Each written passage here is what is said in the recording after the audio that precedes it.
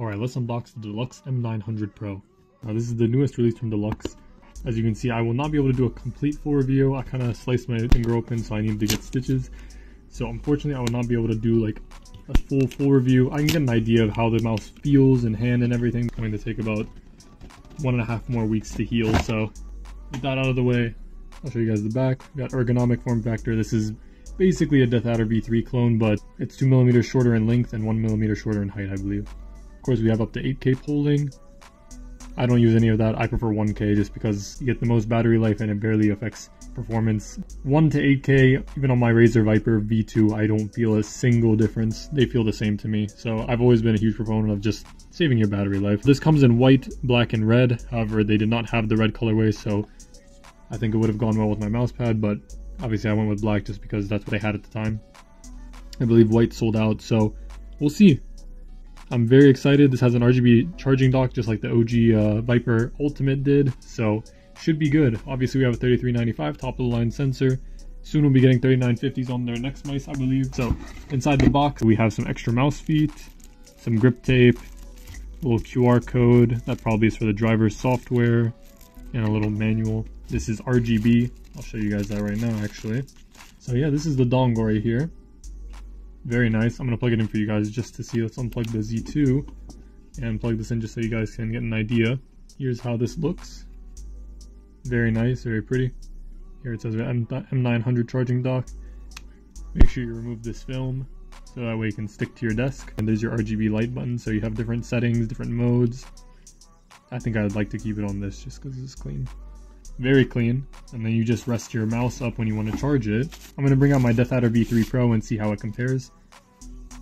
All right. In terms of looks, it does appear to be a slightly smaller. Oh yeah, no, this is good. Oh, this is very good. Let me see. I think I might like it more than the Zaopin. Obviously, I can just use my ring finger and act like that is a middle finger. Overall, they both feel pretty good, but this one is much more comfortable. And then these also have, I believe, Huano Blue Shell Pink Dots. That's what it feels like. They feel the same as the switches that are in here. Yeah, I believe they're using Huano Blue Shell Pink Dots just based off of the feel. Scroll wheel is excellent. Wow, very good QC. Look at that. No pre-travel, no post-travel on either mouse 4 or mouse 5. Very good. Look at that. Wow. Barely any pre-travel. No post-travel. A little bit of post-travel on mouse too, but again, it's not going to affect anything.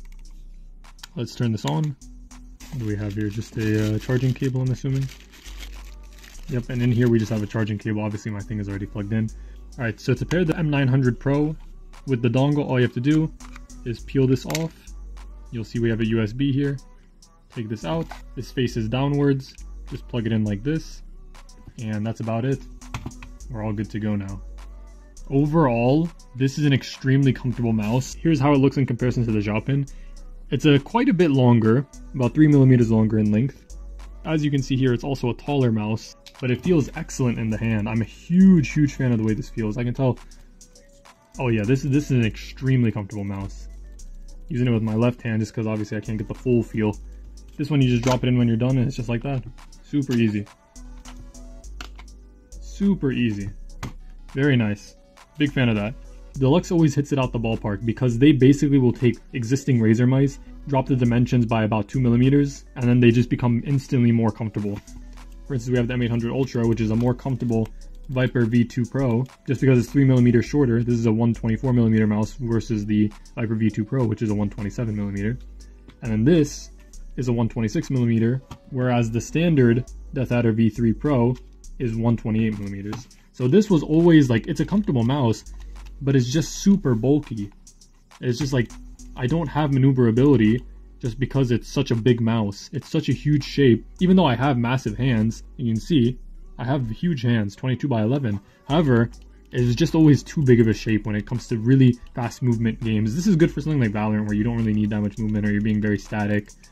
However, for something like COD where I'm always moving like this and I need super fast flicks and 180s, it's just not not ideal. This mouse is like infinitely more comfortable. Yeah, in hand it's just way better. It's just a tad bit shorter in terms of height. However, in terms of length, that's where this really shines. As you can see, I have them lined up perfectly. And you can see how much shorter it is of a mouse. 126 versus 128 millimeters. And then in terms of width, they're kind of similar. I would say the, the width and the height are, are very similar on these two. However, the length is where this shines because you have that same elevated feel. However, because the mouse is shorter, you have like a natural claw grip almost. You can easily palm this if you have smaller hands though. But for me having 22 by 11 hands, this forces me to play claw grip, but in a comfortable way. It's like relaxed claw essentially. And because of that, I have much more maneuverability versus you can see here because it's a longer shape, I'm basically forced to play very close to a palm grip. And so I don't have maneuverability when I need it. Whereas this one, I can move really fast whenever I want. Whereas this one, like I could do it, but it's it's much more uncomfortable and my hand ends up getting sore because it ends up feeling very unnatural. I'll show you guys how to download the software real quick. But overall, I think this is going to be a very, very good main for me. I'm to take off these skates though, and I'm to put on my ESP Tiger Ice V2s.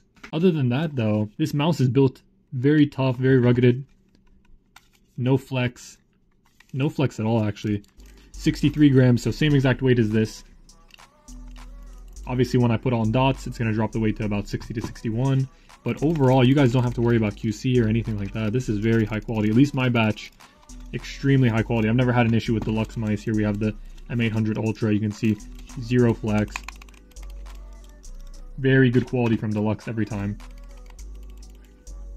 I'm very excited for their next mouse, whether it's called the M1000. But you guys are, I'm hoping you guys enjoy that one. That one is going to be even better than this, and this is probably going to be my new main. I'm really happy to see Ergos making a comeback. I mean, we got two great Chinese Ergos, both $45, both excellent. Very good prices on both. This one has 8K, this one has 4K, and this one also has hot swappable switches. Um, this one doesn't, but you don't need hot swappable switches in my opinion when you have Huano Blue Shell Pink Dots because you basically have one of the best switches on the market and they're very satisfying, very high quality. Last 80 million clicks, you don't have to, don't have to worry about that. I mean, these are both excellent mice. You can't go wrong with either. I personally prefer this M900 Pro just because the shape fits my hand size better and it's a much more comfortable DAV 3 Pro, so can't go wrong with this one. You're gonna love it. Let's show you guys how to download the software and go through the software real quick. Alright guys, I'm gonna leave a link in the description to the device driver, all you have to do is click on the link in the description and it will download the device driver immediately. All you have to do is open it up.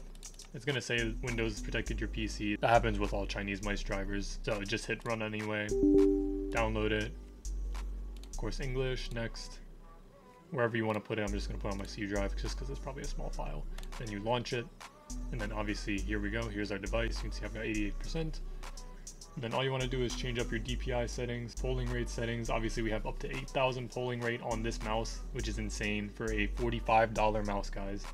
But I'm going to set it to 1,000 just because, I mean, every time I've tried 8K, it just doesn't feel any different. And a lot of games don't even support more than 4K. A lot of games don't even support more than 2K, in fact.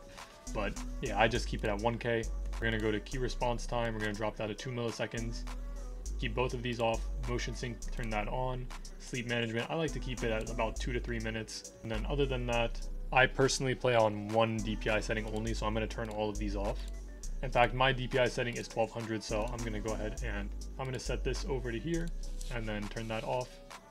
And now we're on the 1200 DPI setting, and that's exactly what I use and you're basically good to go. That's all you need to know about that Delux M900 Pro. This is an excellent mouse. I think you guys are gonna really like this one. $45, 8,000 polling, 8K polling, really comfortable shape, more comfortable than the DeathAdder V3 Pro, more maneuverability than the DeathAdder V3 Pro, much more suitable for first-person shooters that are fast-paced, very comfortable.